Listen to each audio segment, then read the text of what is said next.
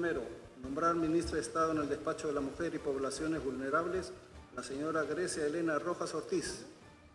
Artículo segundo. La declaración jurada de la ministra nombrada es publicada en la página web de la Presidencia del Consejo de Ministros en la misma fecha de publicación de la presente resolución suprema. Regístrese, comuníquese y publíquese. Ina Exilia Boluarte Segarra, Presidente de la República. Pedro Miguel Angulo Arana, Presidente del Consejo de Ministros.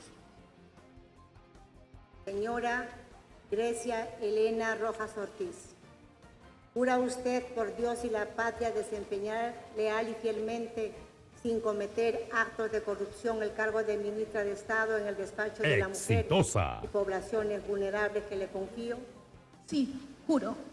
Si así lo hiciera, que Dios y la patria lo premien, y si no, se lo demande.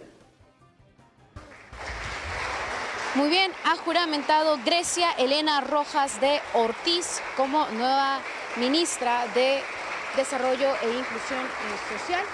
Importante precisar de que ella ha sido directora general de la Dirección General contra la Violencia de Género, ha sido parte justamente del trabajo de estos eh, últimos meses.